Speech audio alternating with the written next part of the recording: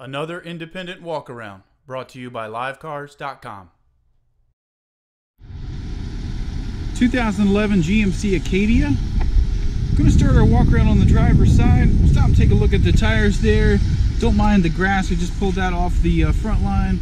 Just looking for any signs of dents, stings, scratches. Anything we see, we'll do our best to point out. Just a couple little thin spots, nothing major.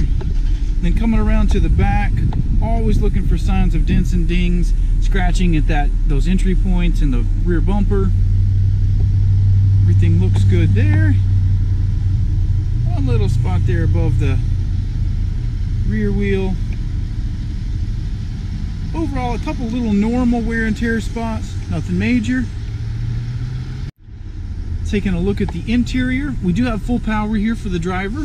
Nice brown leather seating. 102 136 is your current mileage. It does have AM FM CD. This is going to be your backup display here. And then you've got dual climate control, of course, all your functionality here. You do have the heated seats. It is an automatic and then everything's going to be trimmed out in this nice black grain wood trim. All your flooring is going to be brown, minus the dirt there that I tracked in. Heads up display. Taking a look in the second row now, just do a nice slow pan over the seats. No signs of any damage here. Look really good. And then the flooring surfaces as well. You do have your rear air controls here as well as some additional power ports. And then you do have a nice panoramic roof back here for your second row passengers.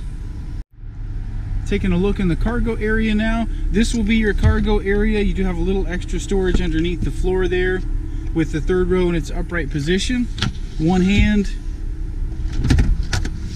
those are down out of the way. You can then fold that second row if you need additional pass-through storage.